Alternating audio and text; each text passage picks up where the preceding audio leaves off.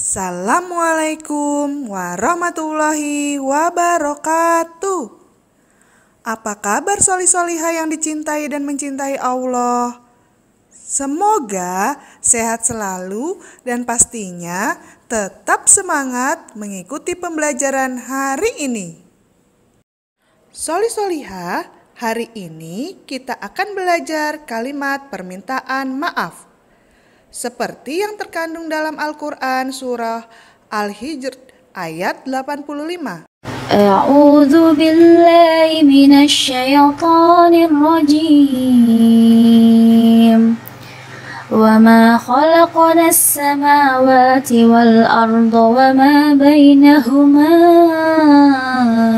إلا بالحق وإن الساعة لآتية فاصفح الصفح الجميل Dan tidaklah kami ciptakan langit dan bumi, dan apa yang ada di antara keduanya, melainkan dengan benar.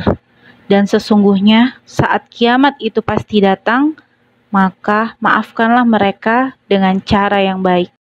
Berdasarkan surat tersebut, maka kita dianjurkan untuk memaafkan kesalahan seseorang dengan cara yang baik. Dan mengapa kita harus meminta maaf? Lalu, bagaimana caranya meminta maaf? Soli Soliha, Bu Guru akan membacakan cerita yang berjudul Saling Memaafkan. Disimak baik-baik ya cerita yang Bu Guru bacakan. Saling memaafkan. Pada hari Minggu, Nina dan keluarganya berkumpul di rumah. Mereka menikmati waktu liburannya dan bersantai. Ayah membaca koran di teras rumah, ibu menyiram bunga, Nina bermain boneka di kamarnya. Sedangkan Ino menonton televisi di ruang keluarga. Ino menonton film kartun kesukaannya. Tiba-tiba, Nina keluar dari kamarnya dan ingin menonton film kartun Barbie. Nina langsung merebut remote televisi dan mengganti saluran televisinya. Ino marah dan mengambil kembali remote televisinya.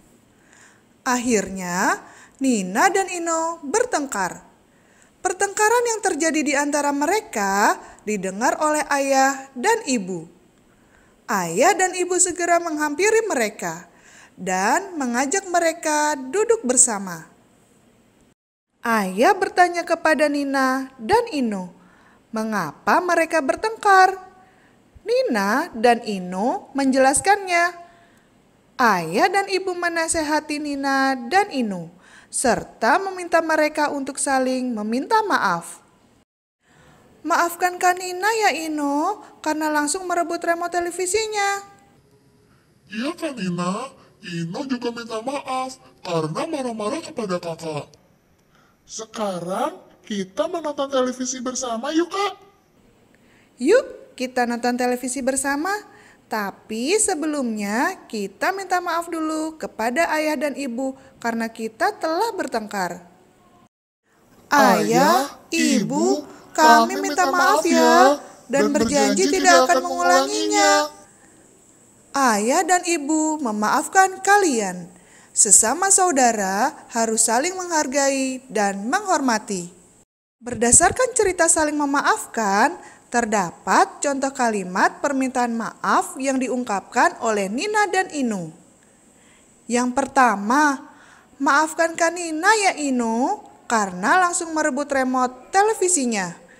Yang kedua, Ino juga minta maaf karena marah-marah kepada kakak.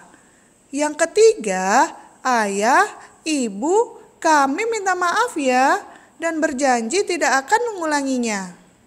Sekian pembelajaran hari ini.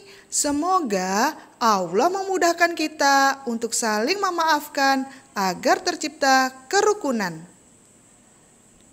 Wassalamualaikum warahmatullahi wabarakatuh.